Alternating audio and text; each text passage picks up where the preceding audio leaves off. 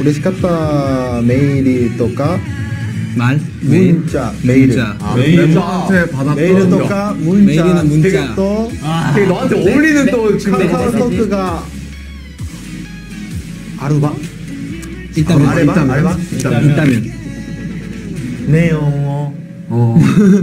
教えてください 아, 매운 매운 거. 最後のお題はこちら V がメンバーからもらって嬉しかったメールは 아, 내용. 기억에 남는 내용 뭐, 뭐. 딱 있잖아요. 딱 있잖아요. 나 있잖아요. 사이킨 너의- 저저저 있잖아요. 웃고 웃고 계신 분들 이유가 있잖아요.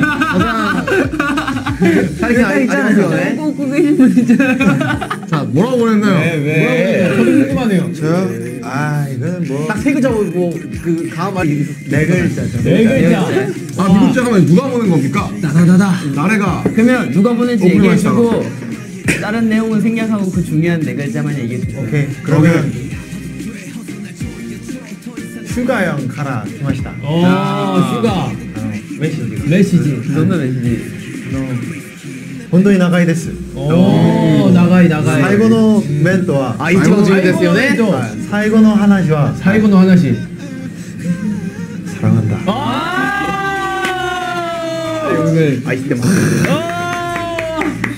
도라마다 도라마 도라마다.